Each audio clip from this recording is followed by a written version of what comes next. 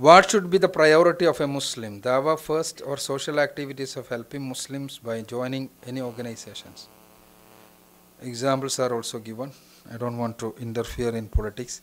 So, the priority of a Muslim basically is dawah. You can you can never be uh, never be away from dawah in any circumstances. But as a Muslim, you are a social being. You cannot be away from the society. You cannot be away from the charity works. You cannot be away from the social activities. As a Muslim, it is the responsibility of you for involving in social activities. But those social activities should be Islamic. Those social activities should not be no un-Islamic.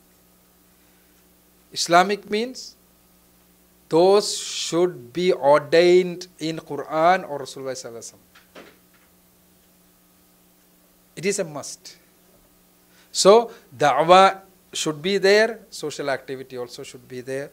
Preference means you know both should be done by all Muslims. That is uh, no no no preference are given by Rasulullah. So both should be done.